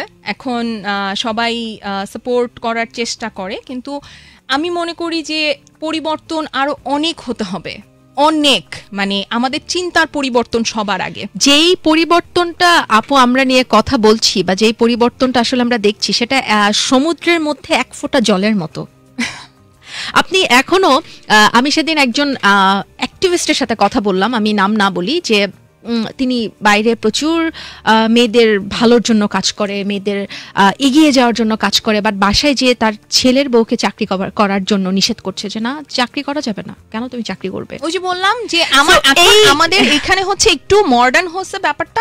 আহ, সেটা হচ্ছে আগে ছিল অশিক্ষিত হলে বেটার Okay. মানে সুন্দরী অশিক্ষিত বউ লাগবে। আর এখন হচ্ছে একটা পিএইচডি করা সুন্দরী বউ লাগবে। এডুকেটেড বাবুর্চি লাগবে। হ্যাঁ একদম শিক্ষিত। এখন হচ্ছে খুবই অনেক মানে ওই জায়গাটা থেকে বের হয়েছে এবং সে হচ্ছে একদম মানে দশটা হাত আছে তার। সে চাকরিও করবে যেখানে জব করবে সেখানেও সে সেই রকম সুপার পারফরমেন্স তার। সে একদম মানে খুব ভালো করছে। সে বাসায়ও ফাটাফাটি রান্না করে বাচ্চা টেক কেয়ার করে শ্বশুর শাশুড়িকে টেক কেয়ার করে জামাইয়ের সব কাজ করে দেয়। মানে এইরকম একটা মেয়েকেই এখন খুঁজছে সবাই। ইভেন আপনি আমি জানি না যে আপনি এই ব্যাপারটা লক্ষ্য করেছেন কিনা। আমরা এখন এই যে যোগাযোগ মাধ্যম গণযোগাযোগ মাধ্যমে যে নানান ধরনের অ্যাডভার্টাইজমেন্টগুলো বানাই ঠিক এইভাবে কিন্তু মেয়েদেরকে রিপ্রেজেন্ট করি। তুমি সংসারেও প্রচুর সে বৌমা সবাই ডাকছে মা এটা এটা মাঝে হয়েছিল। বাট এখন আবার মানুষ আবার একটু সচেতন হয়েছে। আমি আমি বেশ কিছু বিজ্ঞাপন দেখেছি। এখন অনেক পজিটিভ চিন্তার করে বানানো হয়েছে। এবং আমি মানে আমার কাছে ভালো লাগে জিনিসটা এবং পরিবর্তনটা হতে হবে। এবং পরিবর্তনটা মেয়েদের চিন্তার চাইতে আমার কাছে মনে হয় যে মেয়েরা কিন্তু অনেক ফাইট করছে। একটা মেয়ে ওই যে আমি বললাম মেয়েরা যে কত পাওয়ারফুল এটা যদি মেয়েরা বুঝতো যখন বুঝে তখনই এই জন্য আর মেয়েদেরকে কারও ভালো লাগে না। কারণ যখন তারা বুঝে যায় ও মাই গড আমার ভিতরে কি আছে? তো তখন তো আর পৃথিবীর অন্য কাউকে আর কিছু মনে হয় না। তো তখন আর কি ওই মানুষটাকে নিতে পারাটা একটু ডিফিকাল্ট হয় কিন্তু। মেয়েরাও নিতে পারে না ছেলেরা তো নিতেই পারে না। মানে আমাকে সবাই বলে বাঁধন তোমার মানে হয় না যে উচিত তো মানে তুমি এত সুন্দর তোমার তো অনেক ফ্রেন্ড ফ্রেন্ড থাকবে। আমি বলছি, ভাই ছেলেরা তোমাকে নিতেই পারে না। দুই মিনিট কথা বলার পরে দুই মিনিট কথা বলার পরে আমার মনে ও মাই গড এটা কার সাথে কথা বলছি? থাক থাক ঠিক আছে thank you thank you thank you তো মেয়েরাও নিতে পারে না ছেলেরাও নিতে পারে না। সো মেয়েরা যে কত পাওয়ারফুল এটা তো মেয়েরা যে বললাম সোসাইটি তাকে শিখ- শিখতেই দেয় না বা বুঝতেই দেয় না যে তোমার ভিতরে কি আছে। তো যখন সে সেটা বুঝে সে কিন্তু ফাইট করে যায়। করে যায়। যে হিমালয়ের চূড়ায় পৌঁছে গেছে যে আহ, মানে আমাদের যে ওয়েট লিফট করে যে গোল্ড মেডেল পেল যে এই মেয়েটা মাবিয়া সে গ্রাম থেকে আসা একটা মেয়ে। ক্রিকেট যারা খেলছে ফুটবল যারা খেলছে এই মেয়েগুলো তো সব শেকল ভেঙে আসলে এই জায়গাটায় এসেছে তাই না? কিন্তু আমার কথা কি সোসাইটি কেন মানে সোসাইটির থেকে মানে আমাকে কেন শেকলটা ভাঙতে হবে? শেকলটাই থাকবে কেন? কেন আমি এবং আমার ভাই একই রকমের অপরচুনিটি নিয়ে বড় হব না? এক্স্যাক্টলি কেন আমি এবং আমার ছেলে বন্ধুটা একই রকম চিন্তা করে পড়াশোনা করব না? আমি আমার মেডিকেলের ফার্স্ট গার্ল ছিলাম। আমার আমার সাথে মানে আমি আমি কখনো চিন্তা করি নাই যে আমি এরপরে এত কিছু করব। কিন্তু আমার সাথে যারা একটু কম পড়াশোনায় ভালো ছিল ছেলেরা সবাই তার ক্যারিয়ার করে ফেলেছে পিএইচডি করেছে এমএস করেছে এফসিপিএস করেছে। মেয়েরা করেছে কিন্তু সেটা কম সংখ্যায় কম। কম। কিন্তু মেডিকেলের রেজাল্ট আমি যেহেতু মেডিকেল স্টুডেন্ট ছিলাম মেডিকেলের রেজাল্ট মেয়েরা সবচাইতে ভালো করে। কিন্তু আলটিমেটলি গিয়ে প্রফেশনাল লাইফে গিয়ে মেয়েরা ঝরে যায়। কেন? কারণ। কারণ তাকে তাকে ক্যারি মানে তাকে আমাকে আমাকে অপশন দেয়া হবে। তুমি আসলে কি চাও লাইফে ক্যারিয়ার চাও না হ্যাঁ সংসার তুমি সংসার মানে আর তারপর তো তুমি যদি বলো, না, আমি তো ক্যারিয়ারও চাই। কি? মানে ক্যারিয়ারও চাও মানে মানে কি? মানে তোমার সংসারটা টিকানোর কোনো ইচ্ছাই নাই, না? মানে তো তখন কি হয়? তখন এই কনফিউশনে মেয়েটা কি করে? তখন মেয়েটা বলে, থাক থাক, বাবা, আমার দরকার নাই। আমি, আমার পড়াশোনা, ঠিক আছে? আমি আমি যে এত ভালো স্টুডেন্ট ছিলাম, আমি কোনো চিন্তা করি নাই, আমি যে পিএইচডি করব। তো আমার আমার চিন্তা নিয়েই তো আমার কত কথা বলার আছে। আমি অন্যের কথা কি বলব? তো আমার সাথের যে ছেলেটা, যে হয়তো এত ভালো রেজাল্ট করে নাই, সে যখন মানে পিএইচডি করে ফেলতেছে এমএস করে ফেলতেছে এফসিপিএস করে ফেলতেছে তো তখন মানে তখন আমার মনে হয়েছে যে আসলে মেয়েদেরকে ওই জায়গাটায় চিন্তা করার বা ওই স্বপ্নটা দেখার সুযোগই দেওয়া হয় না। মেয়েদের স্বপ্নটা তো নির্ধারিত যে তোমার স্বপ্ন হবে একটা সুন্দর সংসার করা। আমি সংসার করার বিপক্ষে না। আমি এখনও সংসার করতে চাই। আমি আমার আমার কিন্তু সংসার আমি পছন্দ করি। মানে চমৎকার। একটা ফ্যামিলি থাকবে সবাই আমরা একসাথে থাকব আমি আমার বাবা মার সাথে থাকি আমি আমার বাবা মার সাথে থাকি ঠিক আছে বাট এরকম না আমি সংসার করতে চাই না। আমি চাই না যে আমার আরেকটা পার্টনার থাকবে। আর শুধু পার্টনার থাকলে যে মানে একটা ছেলেই বাসায় থাকলে যে সেটা সংসার হয় এরকম না আমি সবসময় বলি আমি অনেক সুন্দর সংসার করি। আমি আর আমার মেয়ের আমাদের একটা সুন্দর সংসার সংসার, হ্যাঁ। তো আমি আমি কিন্তু এরকম না যে আমি চিন্তাটা করছি না যে আমি আমি চাই না একদম। কিন্তু মানে আমাদেরকে যেভাবে শেখানো হয় মানে সে তো আমার আম, সে আমার কোনো প্রভু হবে না। সে আমাকে ডমিনেট করার জন্য আমার লাইফ আমার সহযোগী হবে, আমার জীবনের একটা একদমই মানে আমার আমার যে কঠিন পথটা আমি পাড়ি দিচ্ছি অবশ্যই কেউ একজন থাকলে কেউ যদি বলে বাঁধন আমি আছি তো। ভালো লাগবেই আমার। মানে এটা এরকম না যে এটা আমাকে অনেক কিছু দিয়ে দিবে বাট অবশ্যই এটা ভালো লাগার ব্যাপার তো অবশ্যই, ভালো তো লাগবে। যে পাশে কেউ আছে, কেউ বলছে যে, ওকে, আমি আছি কোনো মানে দেখছি আমি। তো ভালো লাগবে। কিন্তু এরকম না যে তার জন্য মেয়েটাকে আসলে মানে তার কেপাবিলিটি নিয়ে প্রশ্ন করা হবে, তাকে বলা হবে যে, তুমি তো পারো না, তাই তোমার লাগবে। আমাকে সবাই বলে যে, তুমি তুমি পারবা, একা একটা মেয়েকে এরকম করে বড় করতে সোসাইটি এই সেই এইসব চিন্তাই কিন্তু আমি ওই লোককে আবার বিয়ে করতে চেয়েছি, যে আসলেই তো আমি কি করব? তো মানে পারব না কেন? আমি পেরেছি তো। মানে সমস্যাটা হচ্ছে আমি যে পেরেছি, আমি এটাও স্বীকার করতে পারি নাই। এটা হচ্ছে আমার কষ্টটা, যে আমি কেন এই সমাজে আমি এই অবস্থায় চলে গেলাম যে আমি পারছি যে জিনিসটা, আমি সেটাও স্বীকার করছি না ভয়ের চোটে। কারণ আমার মনে হচ্ছে যে না না, আমি তো পারি না, আমি তো মেয়ে, আমি তো এত সব কিছু পারি না আসলে। মানে এটা না, একটা মেয়ে, একটা ছেলে, প্রত্যেকটা মানুষই তার তার যোগ্যতা অনুযায়ী সে সে তার জায়গা তৈরি করবে। সে সে মানে যে রাস্তা পরিষ্কার করছেন সেও যে দেশ চালাচ্ছেন সেও, যে পাইলট সেও মানে তার, যার যার অবস্থা অনুযায়ী সে সে তার মানে জায়গাটা তৈরি করবে। কিন্তু এটা তো আর কাউকে দিয়ে নির্ধারিত হবে না যে তুমি এটা করবা না, এটা করবা না, এটা করবা না মানে কেন? আমার আমি খুব আপসেট হই। মানে হয় না যে আমি বলি অনেক পজিটিভ কথা আমি চাই যে সবাই অনেক মোটিভেটেড হবে। এবং তুমি যেটা ওই যে আমাদেরকে যে ফোন করল আমাকে যে বাসার অ্যাড্রেস দিলো ওর নামটা আমি বলতে চাই। বসুন্ধরা থেকে আমাদেরকে হ্যাঁ, টেক্সট so, করেছিল। ওকে জাফরিন জাফরিন জাফরিন ও ক্লাস সিক্সে পড়ে না সেভেনে পড়ে। সেভেনে পড়ে। আমি একটা কথা বলি সব সময় যে আসলে আমার কথাগুলা এতবার বলার মানেটা কি? আমাকে সবাই বলে যে হইছে তো? পাইছো না? এখন আবার এত কি? এত বলার কি আছে? এত বলার কি আছে জানেন? এই যে যে জাফরিন আমার কথাটা শুনে একটু হলেও চিন্তার পরিবর্তন করতে পারবে বা একটু হলেও চিন্তা করবে যে আসলে কেন আমরা এগুলো সহ্য করে যাচ্ছি? আমার অর্জন হচ্ছে ওই জায়গাটা শুধু। কারণ আমি আমি মনে করি যে আমরা যত চুপ থাকব আমাদেরকে সব কিছু তত পেয়ে বসবে। আমাদেরকে কথা বলতে হবে, আমাদেরকে সাহস করে এগিয়ে যেতে হবে। এবং অন্যায় সে যেই করুক তার পাশে থাকা যাবে না। আমরা যেটা করি যেটা হয় যে যখন আমার ভাই অন্যায় করছে আমরা তখন সেটা না দেখার একটা ভাব করি। যখন আমার কাছের বন্ধুটা অন্যায় করছে, আমরা সেটা মানে ইগনোর করি। অন্যায় অন্যায় সেটা নারী পুরুষ যেই করুক। তার পাশে থাকার দরকার নাই। অন্যায় যার সাথে হচ্ছে, অবশ্যই তার জন্য আপনি প্রতিবাদ করবেন। এসব বুকিশ কথা মনে হচ্ছে বাট বুকিশ কথাগুলো না, যারা লিখেছেন, তারা অনেক বুঝে লিখেছেন। তো তাদের উপর আমার ফেইথ আছে। তো আমার কথা শুনে যদি আর দু একজন মানুষ একটু মোটিভেটেড হয়, আমার অর্জন ওইটুকুই, বুঝছ? আচ্ছা আপনি টিউন করে আছেন Capital F M ninety four Shahana নিশার সাথে চলছে ওয়েমেন্স ডে স্পেশাল জয়িতা এবং তার সাথে যে মানুষটা আছে, সেই মানুষটার আসলে মানে সেই মানুষটা সম্পর্কে বলতে গেলে আসলে আমাকে আরও এক ঘণ্টা সময় দিতে হবে যদিও সেই সময়টা আসলে আমাদের হাতে নেই। আমাদের সাথে আজকে আছে বাঁধন এবং আমরা শুনছিলাম যে তার জীবনের আসলে এগিয়ে যাওয়ার গল্প এই যে জয়ী হবার গল্প একদম শেষ সময় চলে আসছি কিন্তু প্রায়। হ্যাঁ এই মুহূর্তে তিনটা বেজে চল্লিশ মিনিট আমরা ঠিক চারটা পর্যন্ত থাকব। বাঁধনের কাছে আমার একটা শেষ প্রশ্ন। আমি বলব যে কনফেস করা আসলে যে আপনি বলেছেন যে এখনও আপনি আসলে আহ, স্বীকার করতে পারেন না যে আপনি আসলে ঠিকঠাক মানুষ হতে পেরেছেন কি? আপনি আসলে কি সত্যি একজন ভালো মা হতে পেরেছেন? এই যে মানে কনফেস করার ব্যাপারটা এখনও আপনার বলতে ভয় লাগে। আমি আজকে শাহানা নিশা অনুরোধ করব আমাদের স্টুডিওতে বাঁধন কনফেস করবে ইয়েস আই ডিড ইট এবং আমি পেরেছি। এই যে ভয়টা, যে না, আমার এখনও ভয় লাগে বলতে, সেই ভয়টা বাঁধন আজকে অনেক মানুষ আমাদের সাথে এখন ফেসবুকে লাইভে দেখছে। প্রায় আড়াইশো থেকে তিনশো মানুষ লাইভে দেখছে। আমাদের শেয়ার হয়ে গিয়েছে প্রায় হান্ড্রেড প্লাস এবং প্রচুর টেক্সট আসছে। সবাইকে সাক্ষী রেখে বাঁধন আসলে বলবে যে ইয়েস আই ডিড ইট এবং আমি পেরেছি একজন সিঙ্গল মাদার হতে প্রাউড সিঙ্গল মাদার হতে। অ্যান্ড লেটস ডু ইট আমি প্রথম যেটা পেরেছি, আমি আদর্শ নারী হওয়ার চেষ্টাটা বন্ধ করতে পেরেছি।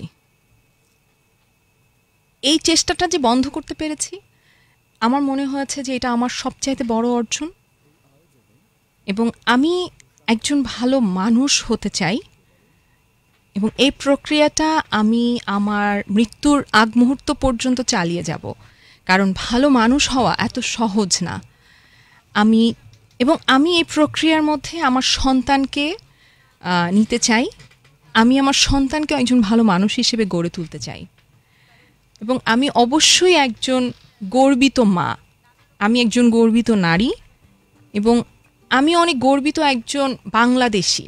আমি আমার দেশকে অনেক ভালোবাসি। এটা আমি সব সময় বলি, আমাকে অনেকে বলেছে, আমি এই- পয়েন্টটা আমরা ডিসকাস করি নাই। সেটা হচ্ছে যে বাঁধন এখানে থাকবা নাকি চলে যাবা? এখানে সবাই এরকম বলতে থাকে, তোমাকে এত মানে হয় না যে সোসাইটি তো আসলে রেডি না। আমি, আমার মনে হয়েছে যে, না, আমি এভাবে ছেড়ে দিয়ে যাব না। কারণ এই সমাজটা, এই দেশটা তো আসলে আমারও।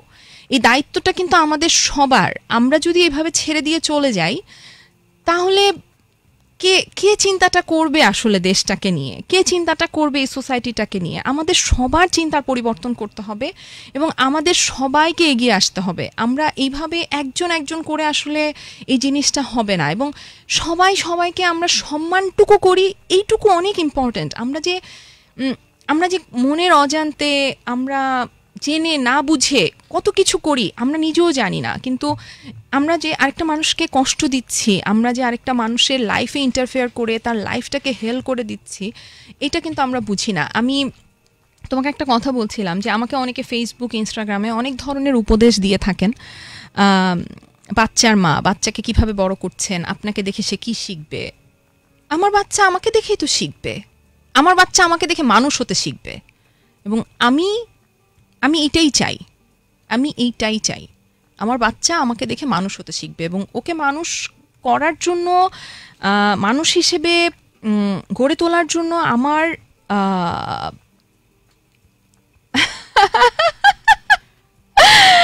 ও ওকে. বাট দ্যাটস এবং এটা am পুরোটা a successful mother. I am a successful mother, and I'm so proud of it. Thank you thank you so much যে বাঁধন আসলে বলছিল যে চিরকুট পাঠিয়েছে। কারণ আমি আমি এটা কেন বলতে ভয় পাই জানো? কারণ হচ্ছে কি ওই যে বললাম যে আমি কতটুকু সাকসেসফুল হতে পারব মা হিসেবে এটা তো আমার সন্তান ভবিষ্যতে কি করবে এটার উপর অনেকটা নির্ভর করে। বাট আমি চেষ্টা করতে পারি। আমি আমি চেষ্টা করতে পারি এবং আমি সেই চেষ্টাটা করছি। কারণ আসলে সাকসেসফুল মাদার ওয়ার্ডটা না অনেক বিশাল। এটা আসলে এখনই বলাটা অনেক ডিফিকাল্ট বাট আমি একজন প্রাউড মাদার বেটার এটা তো ঠিক যে একটা সময়ের পর সন্তানের ডিসিশন সন্তান নিবে। হ্যাঁ। তাই না? তাকে একটা স্পেস দিতে হবে তার মতো করে গড়ে ওঠার কিন্তু তার আগ পর্যন্ত এটা তো আমার হ্যাঁ রেসপন্সিবিলিটি আসলে। তার আগ পর্যন্ত এই যে এত চ্যালেঞ্জের পর থেকে আসলে এত কিছুর পরেও you were with Saira that that is a power you know that is a power এবং আজকে আপু, আমি বলি যে একটু ব্যাকগ্রাউন্ডটা স্টাডি আমি একটু বলি আপনাকে, যখন আমি প্ল্যান করছিলাম উইমেন্স ডে স্পেশাল কোনো কিছু নিয়ে, আমার সবার আগে মনে হয়েছে আমি সিঙ্গেল মাদারকে নিয়ে কিছু একটা করতে চাই, তাদের একটা প্ল্যাটফর্ম দিতে চাই। এবং তখনই আমার মনে হয়েছে বাঁধন আপু ইজ দ্য বেস্ট ওয়ান কারণ আপনি সিনেমাতে কাজ করেছেন, আপনি প্রচুর নাটকে কাজ করেছেন, আপনি মডেলিং করছেন মানে সমস্ত কিছু ছাপিয়ে না আপনার যে একা মেয়ে মানুষ করার মানুষ করার যে ব্যাপারটা আমার কাছে না সব কিছুকে অনেক দূরে ছড়িয়ে দিয়েছে। বিশ্বাস করেন যে শুধুমাত্র আপনি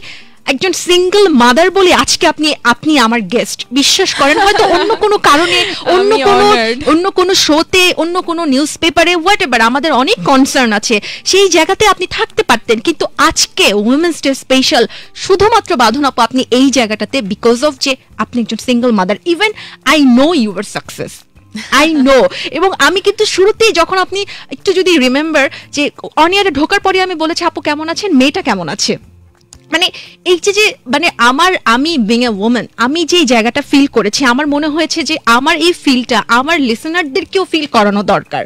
এবং একা পথে একটা মেয়ে আসলে স্কুটি চালিয়ে বাসায় যাওয়া বা ড্রাইভ করে বাসায় যাওয়াটাই যেখানে এত মুশকিল হয়ে গিয়েছে প্রতি দিনে আমাদের এত এত ধর্ষণ, এত এত অ্যাবিউজের খবর আমাদের চারপাশে আসে, সেই জায়গাটাতে একা একটা মেয়ে একজন সুন্দরী মেয়ে একা একজন একদম সো কল্ড কনজারভেটিভ ফ্যামিলি থেকে উঠে আসা একটা মেয়ে আরেকটা মেয়েকে বড় করছে। কিছুদিনের মধ্যে কিন্তু সাইরাও বড় হয়ে যাচ্ছে।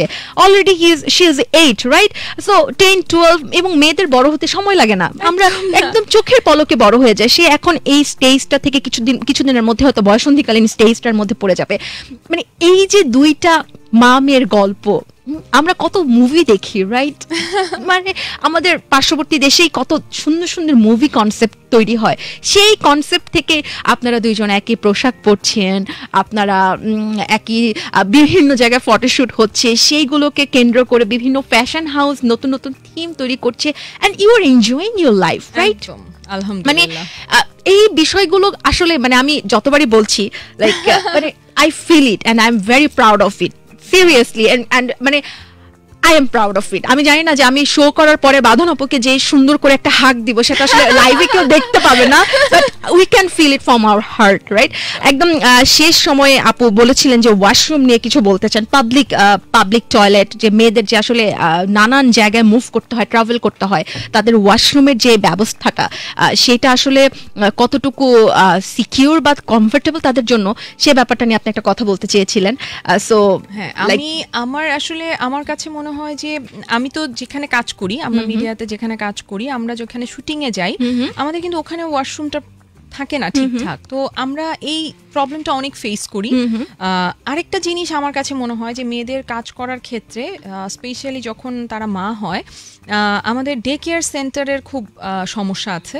যেটা নাই বললেই চলে।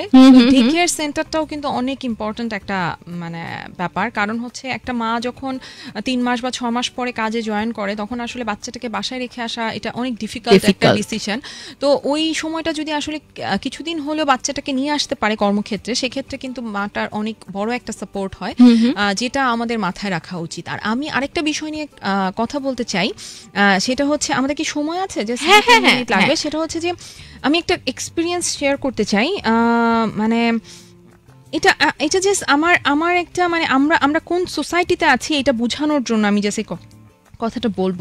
সেটা হচ্ছে যে আমি একটা প্রোগ্রামে গেছি একটা সংস্থার। তো ওখানে বিভিন্ন রকমের প্রশ্ন করা হচ্ছে। প্রশ্ন এবং সেখান থেকে উত্তর নেওয়া হচ্ছে এবং ওখানে যারা আসছে তারা সব ইয়াং ছেলে মেয়ে এবং তাদেরকে গ্রুমিং করা হচ্ছে। মানে গ্রুমিংটা করানো হচ্ছে যে তারা এখন সাপোর্ট হবে একজন আরেকজনের এবং বিভিন্ন ক্ষেত্রে নারীদেরকে সাহায্য করবে বা সোসাইটিকে এগিয়ে নেওয়ার জন্য সাহায্য করবে। এইরকম ছেলে মেয়ে উভয়ই আছে। তো ওখানে একটা প্রশ্ন আসে যে একটা মেয়ে ধর্ষণ হওয়ার জন্য আসলে কি মেয়েটা দায়ী কিনা? আমি প্রশ্নটা আবার করি। একটা মেয়ে ধর্ষিত মানে ধর্ষণ হয়েছে একটা মেয়ের, এই জন্য মেয়েটা দায়ী কিনা? তো উত্তরটা হচ্ছে হ্যাঁ বা না। মানে হ্যাঁ মেয়েটা আসলে ধর্ষণের জন্য মেয়েটাই দায়ী, আর না, একটা ধর্ষণ হওয়ার জন্য কোনোদিনও মেয়ে দায়ী হতে পারে না। হুম হুম। তুমি বিশ্বাস করো পুরা হলের মধ্যে কেউ কোনো উত্তর দিল না প্রথমে এক মিনিট। কারণ তারা ভাবছে চুপ ছেলে মেয়ে সবাই আছে। তারপর একটা লোক হেসে হেসে দাঁড়াল। দাঁড়িয়ে বলছে হ্যাঁ মেয়েরাই তো দায়ী। ওরা মাঝে মাঝে এরকম কাপড় পরে এই কাপড় পরে বলে ছেলেদের এগুলা করতে ইচ্ছা হয়। এবং একটা মেয়ে বা একটা ছেলে প্রতিবাদ করল না। আমার, আমি জাস্ট ওই প্রোগ্রামে আমি একজন স্পেশাল গেস্ট ছিলাম। আমার মনে হয়েছে আমি প্রোগ্রামটা ছেড়ে আমি তখন ওই মুহূর্তে ওখান থেকে বের হয়ে যাব। তারপর আমি আমি জাস্ট নিজেকে কন্ট্রোল করলাম। আমি ভাবলাম যে না, আমি তো বের হয়ে যাব না আসলে। আমি গেলাম, আমি বললাম, আমি কিছু বলব। আমার আমার আমার আমার পরে একটা স্পিচ দেওয়ার কথা ছিল। কিন্তু আমি আমি আসলে পারি নাই। আমি বললাম, আমি কিছু বলতে চাই। তো তখন আমি বললাম যে এবং একটা মেয়ে অনেকক্ষণ পর উঠে বলল যে না না মেয়েরা দায়ী না মেয়েরা দায়ী না। মানে এই ভয়েসটা মানে মানে বোল্ড না। বল তো নাই মানে শোনাই যাচ্ছে না কোনো রকমে মানে কোনো রকমে মিনমিন করে বলল। আমি আমি জাস্ট হতবম্ব আমি কি করব? মানে আমি ওখানে একটা স্পেশাল গেস্ট হিসেবে গেছি মানে আমার মনে হচ্ছে যে আমি আমার হয় আমি আমার নিজেকে মেরে ফেলব না আমি এখান থেকে চলে যাব আমি কি করব আমি বুঝতেছি না। পরে আমি আমি জাস্ট নিজেকে কন্ট্রোল করলাম আমি করে আমি কথা বলব। তো পরে আমি আমি গেলাম। আমি হচ্ছে যে আমার আমার মনে হচ্ছে যে আমি আমার ধারণা কেউ প্রশ্নটা বুঝে নাই। আমি গেলাম এবং আমি আমি জাস্ট শক্ত করে বললাম যে আমার মনে হচ্ছে যে এই প্রশ্নটা কেউ বুঝে নাই। একটা মেয়ে ধর্ষণ হওয়ার জন্য মেয়েটা দায়ী কিনা এটার উত্তর হ্যাঁ বা না জানতে চাওয়া হচ্ছে এটার উত্তর একটা লোক দাঁড়ায় বলতেছে যে হ্যাঁ এবং আমার ধারণা যে এখানে কেউ প্রশ্নটা শুনে নাই। আপনারা কি প্রশ্নটা ঠিক করে শুনছেন? তো তখন সবাই না চুপ হয়ে আছে। আমি বলছি, এখন আমি প্রশ্নটা আবার করতেছি আপনারা উত্তর দেন। একটা মেয়ে ধর্ষণ হওয়ার জন্য মেয়েটা দায়ী কি না? তখন সবাই বলতেছে যে না। আমাদেরকে বলতে হবে। বলতে হবে সয়ে যাওয়া যাবে না। মানুষের মাথার মধ্যে না মরিচা পড়ে গেছে। জাস্ট মরিচা লেয়ারে লেয়ারে মরিচা। Just ওইটার উপর ওই ভিতরে ব্রেনটা কাজই করে না। এই আমার আমি জানি না একটা মানুষ কীভাবে এই কথাটা মানে আমি আমার আমি জানি না মানে এটা কীভাবে সম্ভব আমাদের তাহলে আমি কোন সোসাইটিতে আছি? তার মানে আমার ভাই যখন এই ধরনের একটা কাজ করে বাসায় আসবে তখন আমি বলব হ্যাঁ মেয়েটা তো আসলে এরকম স্লিভলেস কাপড় পরছিল। তো আচ্ছা এই জন্যই করছে। ওই মেয়েটাকে আগে থাপ্পড় মারা উচিত। ট্রু সো এটা এখান থেকে আমাদেরকে বের হইতে হবে। ওকে এবং কোনোভাবে ধর্ষণের জন্য একটা মেয়ে দায়ী না কোনোভাবে না। আমরা আমি আমার একটু পার্সোনাল এক্সপিরিয়েন্সের কথা শেয়ার করি আপু যেহেতু এই শোটা আমি প্রতি শুক্রবারে করি মেয়েদের নানান ধরনের সমস্যা সুবিধা অসুবিধা ক্রাইসিস এবং আমি যেদিনই ধর্ষণ রিলেটেড কোনো কথা বলি বা আমার যেই দিন আসলে টপিক থাকে যে আজকে আমি রেপ নিয়ে কথা বলব একশো জনের মধ্যে নব্বই জনই মনে করে মেয়েদের ধর্ষণ আসলে হয় কাপড়ের কারণে। হ্যাঁ আমি বললাম তো। ওই লোক হাসতে হাসতে বলতেছে ক্যান ইউ ইমাজিন একটা লোক এতগুলো মানুষের মাঝে হেসে হেসে বলতেছে যে, মেয়েটা এরকম কাপড় পরে যে ছেলেদের এরকম করতে ইচ্ছা করে। কীরকম করতে ইচ্ছা করে? মানে এটা কি মানে এটা কি ধরনের কথা? এবং সেই কথাটা মানুষ কীভাবে নিচ্ছে? সোসাইটির পরিবর্তন হইতেই হবে চিন্তা সবার। এরকম মানে এগুলো আমাদেরকে শিখাতে হবে এবং পরিবর্তনটা পরিবার থেকেই হতে হবে। মানসিক চিন্তার যে পরিবর্তন, সেটা পরিবার থেকে শুরু হতে হবে। এটা আমার রিকোয়েস্ট এটা জাস্ট পরিবার থেকে শুরু হতে হবে। আমরা আমাদের ছেলেদেরকে শেখাবো যে কীভাবে মানুষ হবা। ট্রু মেয়েদেরকে তুমি সন্ধ্যা সাতটার পরে বাইরে থাকবা না এটা বলার আগে সন্ধ্যা মানে মেয়েদেরকে কীভাবে তুমি ট্রিট করবা সেটা কিন্তু শেখানো জরুরি। সেটাই জরুরি সেইটাই জরুরি। আমি আমার ইচ্ছা যদি হয় আমি রাতের দুইটা তিনটার সময় বাসায় আসব। আমার কাজ থাকে থাকতেই পারে। আমি ঢাকার বাইরে থেকে যখন আসি আমার আমার অনেক সময় তিনটা চারটার সময় আসতে হয়। আসতে হয়। তো আমি এখন ওদেরকে ভয় পেয়ে আমি জাস্ট বাসায় বসে থাকব। ট্রু একেবারে শেষ সময় চলে আসছি। আপনারা টিউন করে আছেন Capital FM ninety four point eight Shahana নিশার সাথে বাঁধন আছে ওমেন্স ডে স্পেশাল জয়িতা নিয়ে এবং ছিলাম ঠিক দুপুর দুটা থেকে দুপুর চারটা পর্যন্ত। এই মুহূর্তে সময় বলছে তিনটা বেজে বান্ন মিনিট। একেবারে শেষ সময় যদি বলি বাঁধনকে, যে যাওয়ার আগে কিছু বলে যেতে জয়িতাদের উদ্দেশ্যে ছোট্ট করে। একটা কথাই আমি বলতে চাই। নিজেকে ভালোবাসতে হবে, নিজের জন্য বাঁচতে হবে এবং নিজেকে মানুষ হিসেবে গড়ে তুলতে হবে। বাকি সবকিছু এমনি হয়ে যাবে। কিন্তু নিজেকে ভালোবাসতে হবে, নিজের জন্য বাঁচতে হবে। থ্যাংক ইউ থ্যাংক ইউ আপু। আসলে আমি আমার এক্সপিরিয়েন্স বলি, বাঁধন আপুকে দেখার পর প্রথমবার আমি দেখলাম, প্রথমবার আমার সাথে আসলে শো করা। প্রচণ্ড হাসি খুশি একটা মানুষ এবং সবচেয়ে ইন্সপায়ারিং ব্যাপার হচ্ছে, চোখে জল নিয়ে যে মানুষটা হাসতে পারে, সেই মানুষটা এভারেস্ট জয়ের মতো। অনেক কঠিন কাজও করে ফেলতে পারে। এবং অনেক কঠিন কাজের মধ্যেও আসলে অনেক ভালো ভালো কাজ আমাদেরকে দিয়েছে কিন্তু, আমরা কিন্তু দেখছি, হয়তো কাজের সংখ্যা অনেকটা কমে গিয়েছে, কিন্তু যেই মানে কম কাজগুলো করছে, সেই কাজগুলো কিন্তু বেশ কোয়ালিটি সম্পন্ন কাজ। এই যে মা হয়ে জন্মানো এই যে ডিভোর্সি নারী হয়ে জন্মানো, আমি কোট করছি কথাটা, যে ডিভোর্সি নারী হয়ে, এটা যে কত বড় একটা আসলে পেইন এটা যেই মেয়েটা আসলে ডিভোর্সের মুখোমুখি হয় আমাদের সমাজের প্রেক্ষাপটে, সেই আসলে তার মধ্য থেকেই যায়। সেই জানে আসলে যে কত পেইন তারপরেও যে টিকে থাকার লড়াই, একজন চিকিৎসক হয়ে টিকে থাকার লড়াই, একজন আইকন হয়ে টিকে থাকার লড়াই, মডেল হয়ে টিকে থাকার লড়াই, মানুষ এবং দিন শেষে সবচেয়ে গুরুত্বপূর্ণ একজন মানুষ হয়ে টিকে থাকার লড়াই। সেই মানুষটাকে নিয়ে আজকে আমাদের জয়িতা সাজানো হয়েছিল উইমেন্স ডে স্পেশাল জয়িতা। এবং আমরা প্রচণ্ড খুশি প্রচণ্ড আনন্দিত। আমরা যে আসলে শোর পর যে সেলিব্রেশনটা করব, সেটা আসলে আপনাদের দেখানোর সুযোগ নেই। তো সেই জায়গা থেকে আমি খুবই দুঃখিত আন্তরিকভাবে। তবে আজকে একটা বিশেষ দিন। যে নারীদের জন্য আলাদা করে আসলে একটা দিন পালন করা হয়েছে, কিন্তু যেই আমরা আমরা আজকে কথা বলেছি বাঁধনকে নিয়ে প্রচণ্ড সাকসেসফুল একজন ওমেন কিন্তু যেই মানুষটা আসলে প্রতিদিন বাসে হাজার মানুষের ধাক্কা খেয়ে অফিসে যায়, বাজার করতে যায়, হাজার মানুষের ধাক্কা খেয়ে ঘরে ফেরে, গোসল করার সময় শাওয়ার করার সময় যে চিন্তা করে যে আজকে কত মানুষ আমার দিকে খারাপ একটা দৃষ্টিভঙ্গি দিয়েছে, সেই মেয়েটার জন্যও আজকে নারী দিবসের বিশেষ একটা দিন। অন্তত আমরা চিন্তা করি যে সবার জন্য হোক নারী দিবস। ইনফ্যাক্ট নারীদের জন্য স্পেশাল কোনো দিনের দরকার নেই। প্রতিদিনের জন্য প্রতিদিনই যেন নারীদের একটা দিন হয়। প্রতিদিনই যেন আমাদের সব নারীরা নিরাপদে ঘরে ফিরতে পারে। আজকের দিনের মতো শাহানা নিশা বিদায় নিচ্ছি এবং অসংখ্য ধন্যবাদ বাদন বাঁধন আপুকে এবং বাঁধন আপুর মেয়ের জন্য অনেক অনেক শুভকামনা। কোনো একদিন হয়তো আমি অনেক বুড়ো হয়ে যাব। ঠিক আমার এই হট সিটে বাঁধনের এই হট সিটে সায়রাকে দেখতে চাই আমি। থ্যাংক ইউ সো মাচ আজকের মতো বিদায় নিচ্ছি। ক্যাপিটাল Capital FM 94.8 দেশের নাম্বার ওয়ান মিউজিক station